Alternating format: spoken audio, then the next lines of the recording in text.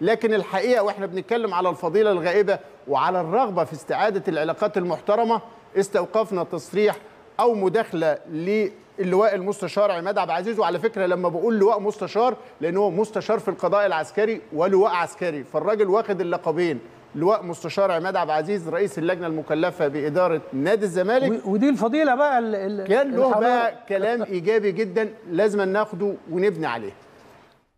هل هنيتوا النادي الأهلي النهارده؟ الكابتن محمود الخطيب رئيس نادي الأهلي يا فندم آه، كان في دبي واستلم جائزة النادي الأكثر حصولا على البطولات في الشرق الأوسط. هل بتبدأوا علاقة جديدة؟ هل بعتوا تهنئة أو شيء للنادي الأهلي يا سيادة المستشار؟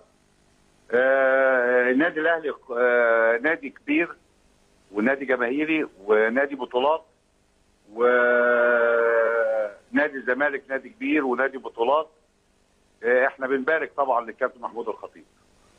هل في برقية رسمية. اتبعتت وأنا بقترح إن تبقى في برقية رسمية في بدايات يا سيادة المستشار يعني لأن أنتوا في النهاية أنتوا قدوه للجمهور هنا وهنا. يعني أنتوا بتكسبوا إحنا كلنا والنادي الأهلي يهنيكم الأهلي نفس الحكاية الزمالك يهنيه. يعني هل في برقية رسمية باسم الإدارة بتاع نادي الزمالك للنادي الأهلي؟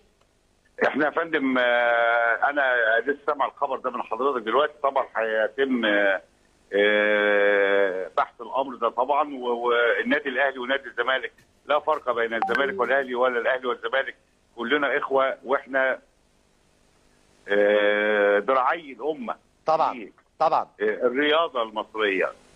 لا أهلي بدون زمالك ولا زمالك بدون أهلي. يعني هو ده اللغة اللي إحنا عايزين نسمعها بين الأندية والمسؤولين بالذات الكبار. مش يبقى واحد بيتوج والتاني بيقلل من من من إنجازاته. لا كابتن خطيب أشاد بالزمالك واداله احترامه. صحيح. وبعدين ابتدى يفرح بناديه. سيادة اللي هو المستشار آه، أشاد بالأهلي والزمالك وقال قطبي الكرة وإن هم لا غنى لاحدهما عن الآخر عشان المكانة. وده باين حتى في التصنيف في الاتحاد ال- عن القرن الماضي الأهلي الأول الزمالك الثاني. يبقى إحنا في آه، صدارة المشهد الإفريقي الإقليمي. هذه اللغة هي المطلوب تصديرها باستمرار يا جماعة. مش مطلوب منك إنك تقول لا والله هو أحسن مني. لا. يبقى في مغالاه هنا يقول لك أنا والاهلي إحنا الاثنين كبار. آه أنتوا إحنا الاثنين كبار. لكن سيب بقى الآخرين يقيموا كل ال- المشهد. ومفيش داعي إن إحنا إحنا مش بنلعب رياضة عشان نغيظ بعض. دي ده ده يا جماعة والله الرياضة أن تنتصر على نفسك بضعفها فلا تتغر ولا تنكسر. بسيطة مالكش دعوة بغيرك.